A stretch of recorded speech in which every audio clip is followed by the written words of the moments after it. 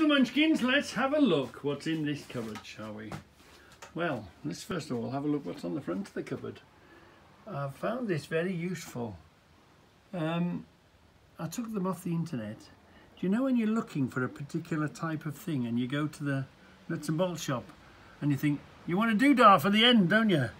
But you need to know the official name of the doodah on the end of your bolts and what sort it is. And uh, so that's what I've done there, look. So that when I go to um, look for a particular thing, I know exactly what I'm looking for and the name for it. Hmm, just a little hint.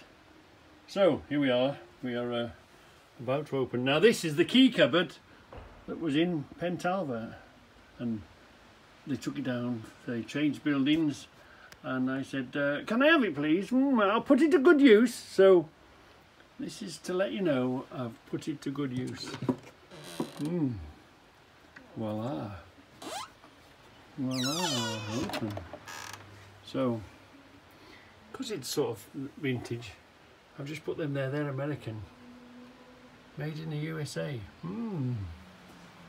And then I've got the bigger calipers and the smaller calipers over here. We come down a bit. And the verniers and the tap and die.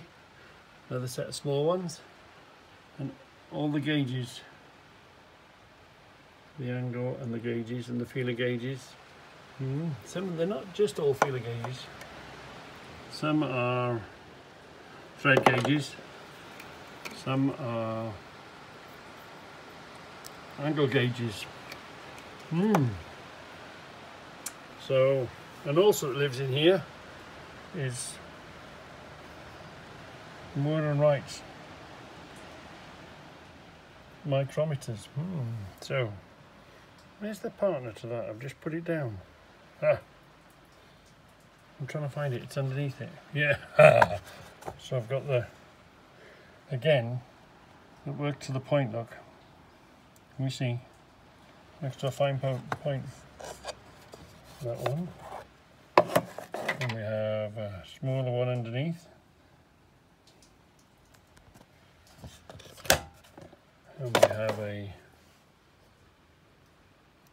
incomplete this one. But there's the micrometer bit for measuring bores and that type of thing. We've got a um, micrometer, a more modern micrometer. And this one, that's a micrometer with a bit of age on it. Hmm. So yeah, that's the um, made full use and still got lots to collect. There's still plenty of room to put stuff in there. Yep. So that is the, um, I'm going to knock them over if I put them there. That is the got another little mic, yeah. Here we are. So that's what lives in that box. Hmm. So what lives in your favourite box? That's one of my favourite boxes. Hmm. One of my favourite cupboards.